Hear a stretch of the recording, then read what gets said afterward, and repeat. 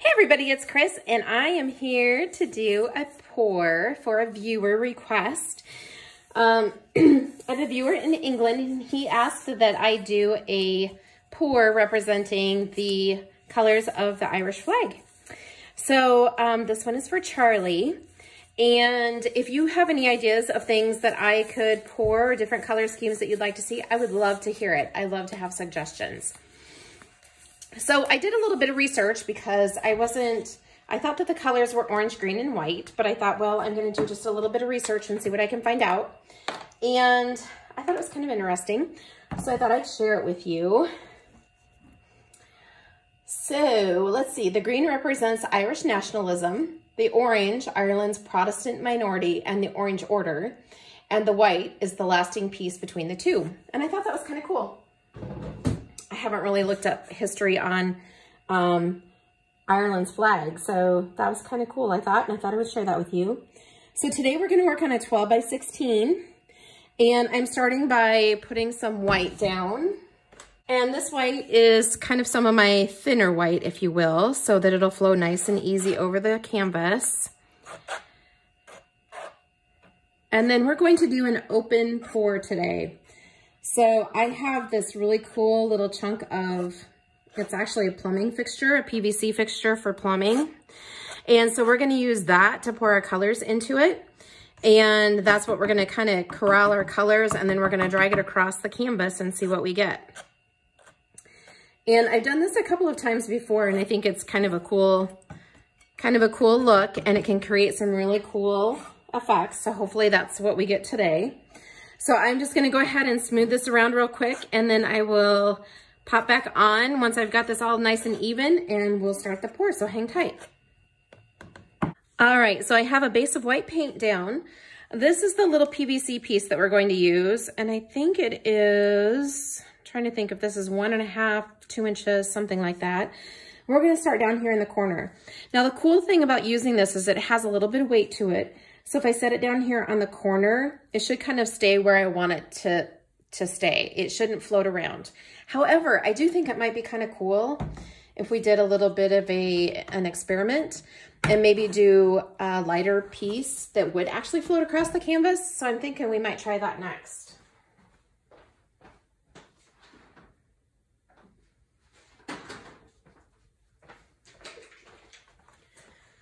All right, so the colors I'm using today are emerald green, and then this is azo orange, and then I also have some white that we're going to put into the pour itself. And the reason, one of the reasons I'm using white, obviously it's the one of the colors of the flag, but I also feel like it'll kind of help to separate the colors so that we still get that true orange and green into the pour itself. I have some little chunkies here that fell into my paint. Um, so I think we're gonna start off with some green. So I'm just gonna put that down there into our little tube. And then I'm gonna put some white on top of that. And then next in is the orange. And then I think we'll put a little bit of white in again, just to help separate that color. And we're just gonna continue to kind of layer our paint in here. And it's kind of hard to tell you like how much paint we're really going to need because it kind of depends on how wide of a band you want across the painting or, um, you know, how big of a squiggle you make. There's so many different factors that go into it. The cool thing about this particular technique though is as we drag it across, if we find out, oh my goodness, I don't have enough paint to get all the way across, it's very easy to add more paint into it.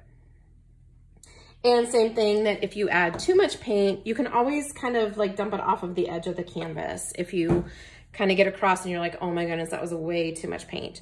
So I probably have this guy about um, halfway filled up and we're gonna go ahead and start kind of moving this across.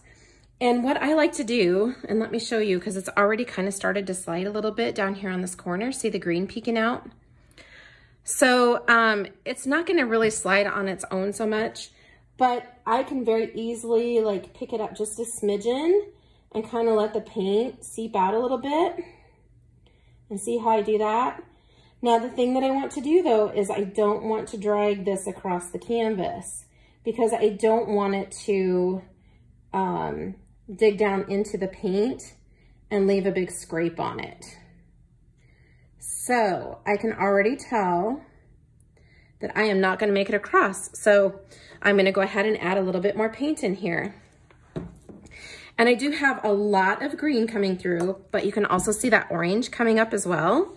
So I think we're gonna be okay. And it looks like this guy's kind of floating a little bit already.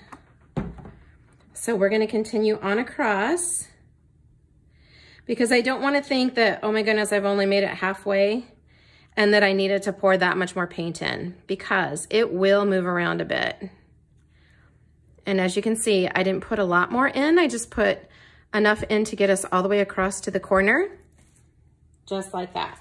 And you can already see there's like some pretty cool cells going on already. Okay, so the next thing I want to do is pop the bubbles with my torch. And there aren't any silicones in my paint, or there isn't any silicone in my paint. This is just my pouring medium and my paint, and this is just the paints reacting with each other. So I haven't added any extra silicone in here. There wasn't any silicone. The tube was clean, so there's absolutely no silicone in here. This is just how they are reacting to each other. And you can see we already have some really cool things going on. Let me pick this up just a tiny bit so that you can kind of see a little bit closer. All right, so obviously this corner is, is covered very nicely. I'm gonna come down here just a little bit. So I'm just gonna kind of gently tilt it. And I know that I've got paint down there because I opened it up and kind of let it release. So I know there's paint down there on that corner. I just have to get it moving kind of more over the corner so that it's covered. And there you can see it's kind of slowly going off. And I don't want to move too much of it on the rest of it if I don't have to. Right now I just kind of want to get that corner covered. There we go. And then I'm going to kind of let it drift back over. And then I'm gonna see if I can get it to go just a tiny bit wider because I know I have enough paint on there to do that.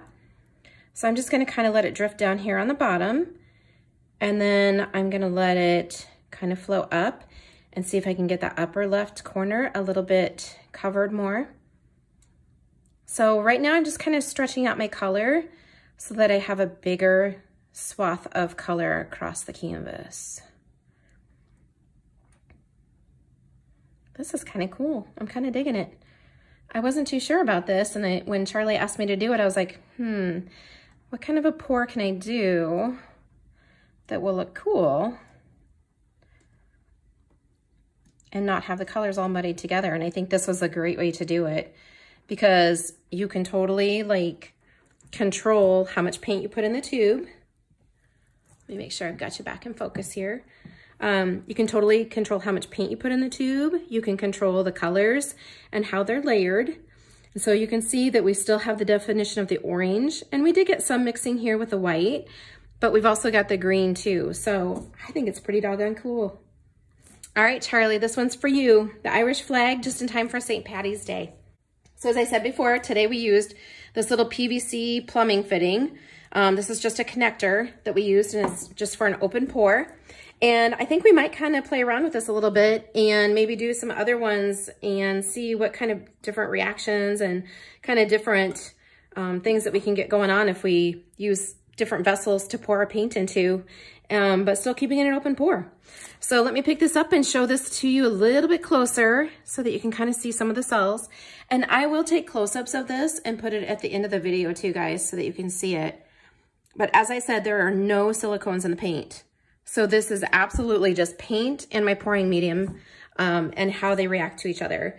And most of you already know, but just in case, my pouring medium is four cups of Floetrol, one cup of Glue All, a half a cup of Liquitex pouring medium, and a quarter cup of water. And then I mix my paints about um, mm, one part of paint to two to three parts of pouring medium, just to get that right consistency that I like. All right, guys, I'm gonna go ahead and touch up the edges of this. And then, as I said, I'll put some close-ups at the end of the video. If you have any questions, please let me know. And please make sure that you let me know if there's any other color combinations that you'd like to see. All right, guys, that is a completed Irish flag pour for St. Patty's Day. Thanks so much for watching, and I'll catch you next time. Bye-bye.